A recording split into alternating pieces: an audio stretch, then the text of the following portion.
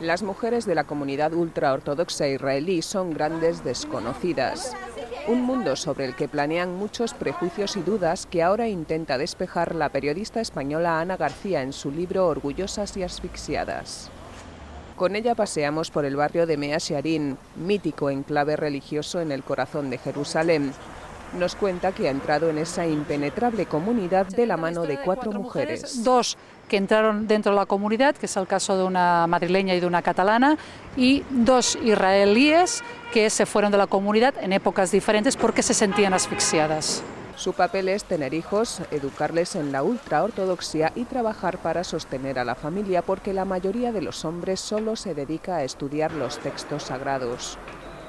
Están sometidas a su marido y el rabino, pero Ana considera que no son mujeres débiles que tienen un papel importantísimo y respetado dentro de la comunidad porque son ellas las que dan a luz, son ellas las que hacen fuerte esta cadena, la cadena de los ultraortodoxos.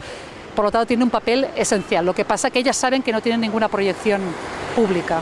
La pureza, la maternidad, el sexo, la solidaridad y también la opresión y los límites a la libertad individual pueblan las páginas de Orgullosas y Asfixiadas.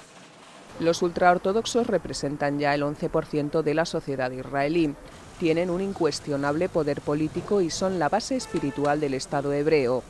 Ahora conocemos un poco mejor cómo son y cómo viven sus mujeres.